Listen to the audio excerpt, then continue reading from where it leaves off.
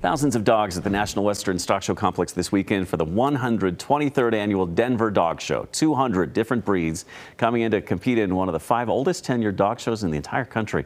The oldest sporting event in the state isn't just about best in show, though. You can also watch the dogs and their handlers compete in rally, obedience, flyball, barn hunt, and dock diving competitions.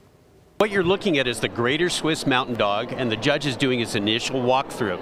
He's then going to check the dog's structure as well as the movement from the side the front and the back to see which dog meets the breed standard. They're not really checking one dog against the other, but they have a standard that the breed club has produced, and that judge has to know that breed standard.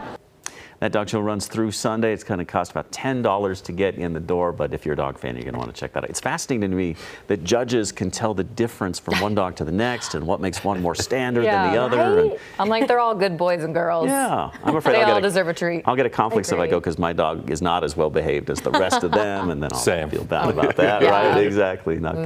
good. But if you're a fan, get out there and enjoy it. Yeah.